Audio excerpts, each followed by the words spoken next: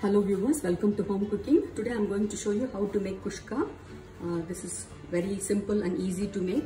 Uh, this is very good for vegetarians. Uh, let me show you the ingredients. Here I have some chopped onion. I took two big uh, onion and then I chopped them thinly like this. I also have some uh, chilies. Just no need to cut them, just leave it as it is.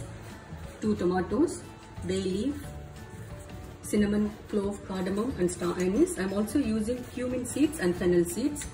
We need some ginger garlic paste, salt, chili powder, coriander powder.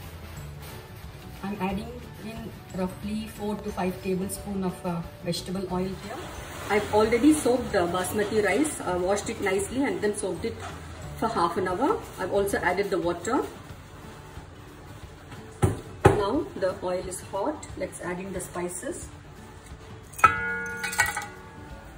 And also the bay.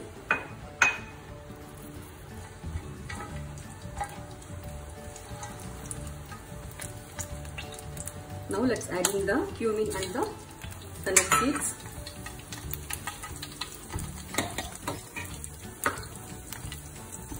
Once you get the nice aroma, add in the onion and the chili.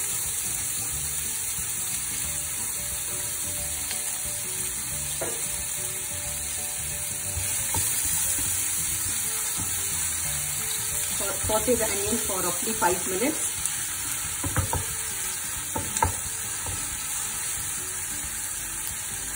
Let's add in some ginger garlic paste. 2 to 3 tablespoons will do. I'm adding in 3 teaspoons of uh, coriander powder.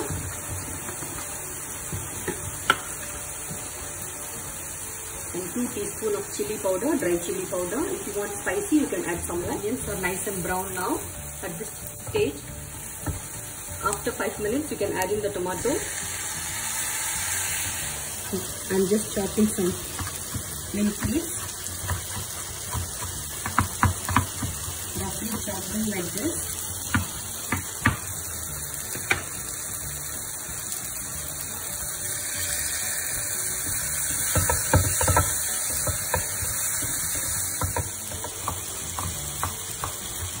I'm also roughly chopping some coriander.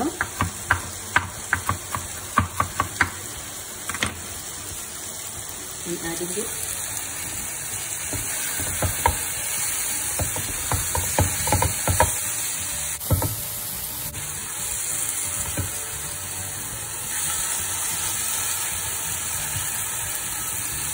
Two tablespoon of uh, yogurt.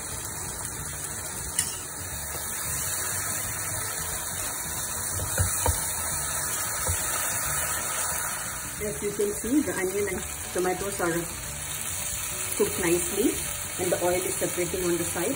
At this stage, I'm just going to add in the water. I measured for one cup of rice, I've added one and a half cup of water. Mix it nicely, let it boil. I'm just going to add in salt now. After I've added the water, I let it boil for a while. Now the water is boiling nicely. At this stage, I'm just adding in the soaked rice.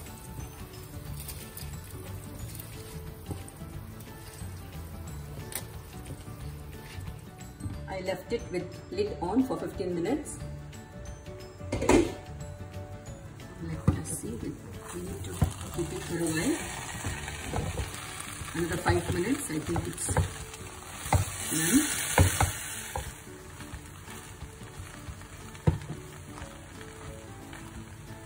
Another 5 minutes. I'm just going to keep it full low. After 5 minutes I think it's done. The rice has cooked nicely. I'm going to turn off the flame. This is optional. If you want you can add some ghee.